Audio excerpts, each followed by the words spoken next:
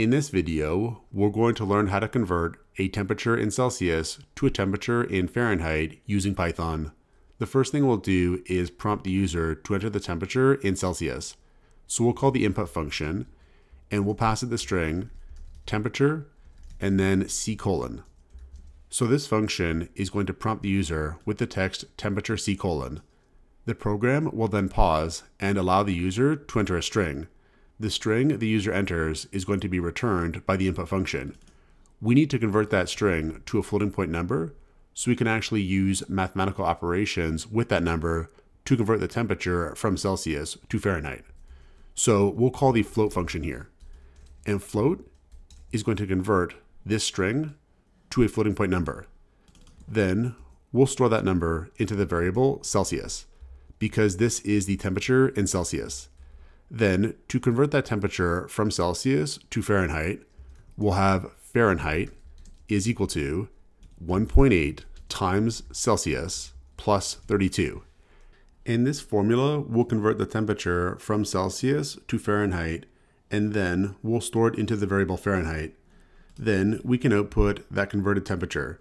So we'll have print and we'll output the string temperature and then F colon, and then we'll output Fahrenheit afterwards. So this will output temperature F colon, followed by the value stored in the variable Fahrenheit. So we could now test our program out. We'll save it and then run it. We'll enter in 33.123 for the temperature in Celsius. And then we get 91.6214 for the temperature in Fahrenheit, which is correct. One thing we could do is limit the output of the temperature in Fahrenheit to two decimal places. We could use an F string to achieve this. So we'll have here print and then F in front of our string.